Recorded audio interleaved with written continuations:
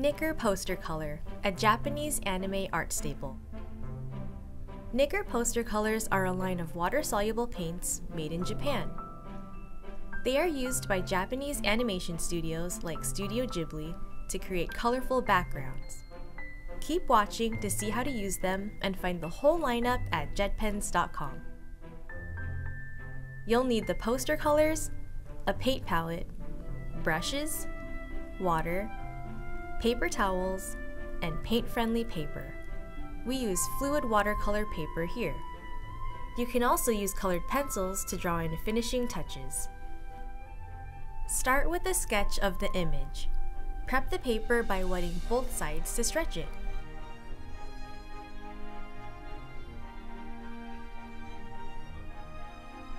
Then tape the wet paper to your workspace. Like gouache, the Nicker paints are opaque and can be layered over previous colors. It is best to start with a wash of paint thinned down with water. This is called an underpainting. Use a large brush and loose strokes to block in colors. Then add thicker paint as you work on smaller details. This keeps the colors bright and prevents them from mixing.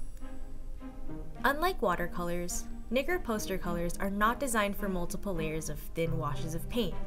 They work best with only a few layers of paint, as too many can muddy the colors.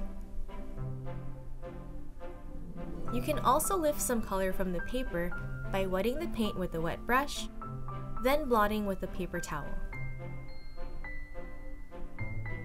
The paints dry quickly, but are easily re-wetted. Re-wet them on a mixing tray or use a damp brush to blend colors on your paper.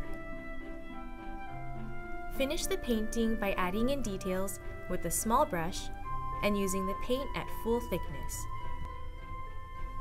You can also use colored pencils to draw in finishing touches. Have you tried painting with Nicker poster colors before? You can see all the colors at jetpens.com. Thanks for watching.